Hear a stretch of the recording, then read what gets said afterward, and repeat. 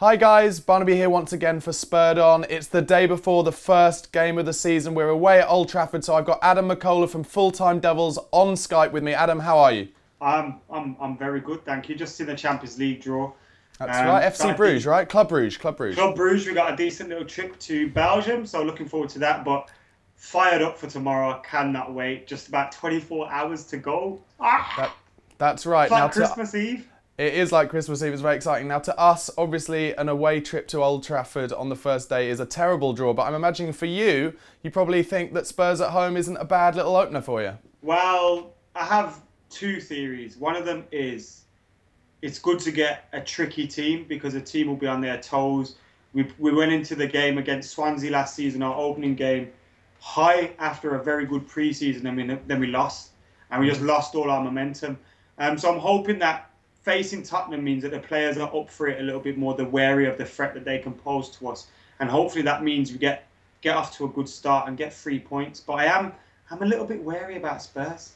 Yeah, I, I have to say I, I see this a little bit as a bit of a bonus game for us because we played so badly at Old Trafford last year when Fellaini had his best game ever in a Man United shirt and we lost 3 0 and Rooney did this goal celebration getting knocked out. That we can't possibly play as badly as we did last year tomorrow. So I kind of think it's like, you know, I don't think we'll win, but maybe we can go there and have a real go. Start as you mean to go on then. yeah.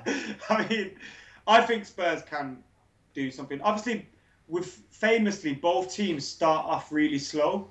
Um, well, at least we've done all, we've done all right over the last five years. We've won we've won our last couple of years uh, opening games, I think. Yeah, we normally win our opening games, but then we normally like drop a few, draw a few games here and there, and it, it takes a while for us to get going. So I'm hoping Louis van Gaal has literally had the preparation, every little inch of it, the way he wants it. So if we don't get off to a good start, yeah it's only him to blame. To no excuses this year. Okay, and so what I was going to say, you know, obviously we're a Spurs, uh, Spurs channel, so uh, you know, give us an idea of some of our players uh, that you would worry about tomorrow. I'm a huge fan of Christian Eriksen. Um, mm-hmm. I have been since his time at Ajax, and I remember Manchester United were looking for a central midfield player, and I was kept thinking, Eriksen's there. Why has no one gone in for him? Why haven't we made a bid for him? I remember he came to Old Trafford under Ajax, and he played us off the park. He was fantastic. So Christian Eriksen, if we give him the time and the space on the ball, then he can make you guys tick. Harry mm. Kane as well. If you if you saw the game against Paris Saint Germain, now obviously we've got no David De Gea in goal.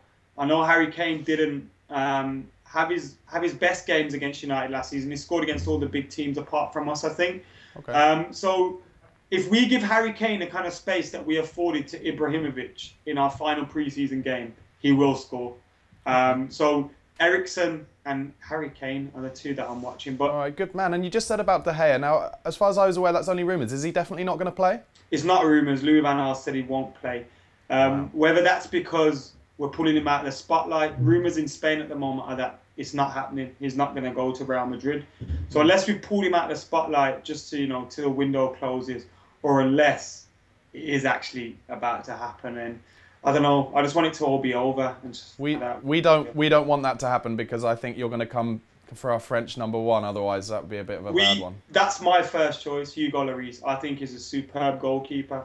Um, I think he's the only goal. Well, he's not the only goalkeeper in the Premier League. Obviously, looking at Courtois, who's fantastic yeah. as well. But Lloris is my first choice um, replacement for um, David De Gea. Daniel Levy would be rubbing his hands together though if we came. Is it true about the we? He's got a release clause. That's pretty. No, I don't think so. There's no way Daniel Levy puts release clauses in those contracts. There's no way. What he does sometimes do is give kind of verbal agreements that if you play one more season, you can go the next time. But then even then, he tends to go back on them. So uh, yeah, Man United come knocking. He's gonna say what I gen- agreement? Adam, Adam, I genuinely think if United were to get Lloris, it would have to be somewhere around forty million pounds, and that's ridiculous for a goalkeeper. I'd it's completely it, ridiculous. I'd pay it. 30, oh, 40 you... million, just pay it because yeah. he is a, he is a go- uh, apparently he wants to come to Manchester United. Yeah. The media so. the media in France are always linking him to Manchester United. They want him to come to Manchester United. So if we just go there, pay the money, whatever Daniel Levy wants, just give him it, keep him quiet, and get him because he's, he's fantastic. We can't go into the season if we lose Dave with Sergio Romero and a Lindegaard. They're not yeah. good enough for a team yeah. like Manchester United. Mm. Okay, so um, just before we go, I guess we better get a, a, a, prediction on the game tomorrow. Just give us an overall idea of how you think it'll go, and then tell us what you think the score will be. Um, I think it'll be a tight game. I think United will edge it 2 1, um, but we will concede. I think our defence is looking suspect at the moment. We need to settle that down, get Rojo fit, and hopefully. Are you playing? Are you going to be playing Daley Blind at centre half?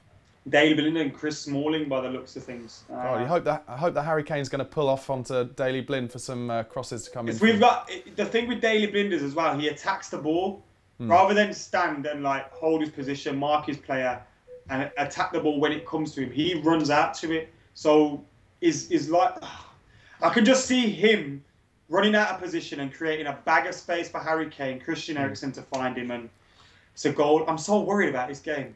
All right, well that's good news. That's enough for me, Adam. Adam, thank you so much for uh, coming and appearing on Spurred on no TV. Don't forget if, if you're here and you uh, are a Man United fan for some reason, then don't forget to go over to Full Time Devils, a great channel with loads of cool stuff going on.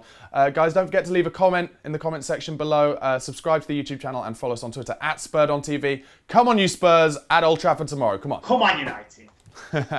with Vorm goal. Then we're going to go Kieran Trippier, Alderweireld, Vertonghen, and Rose. That's the back four. Then we've got Bentaleb, and I'm going to go for Ali. I,